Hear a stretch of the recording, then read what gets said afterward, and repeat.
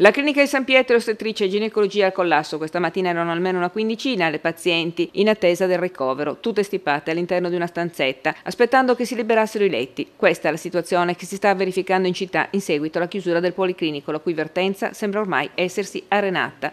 Dopo aver ottenuto la convenzione ambulatoriale per la quale sono stati abbassati i tetti, sono iniziate le turnazioni per il personale, circa 200 dipendenti che stanno aspettando notizie sul futuro all'interno della clinica privata, dove sono state assolte fornite tutte le indicazioni in materia di sicurezza. Intanto è di almeno due settimane l'udienza del giudice che si sarebbe dovuto esprimere sulle altre convenzioni e che includono anche quella di ostetricia e ginecologia, ormai inoperativa dal novembre scorso. Ad aggravare la situazione le piogge che hanno fatto scoppiare le fogne che servono la prima palazzina delle cliniche di San Pietro, una situazione ormai ingestibile. Dal terzo piano le pazienti sono state trasferite al quinto piano, una condizione da terzo mondo che non può che aggravarsi col passare del tempo, a discapito della salute dei cittadini cittadini del Sassarese.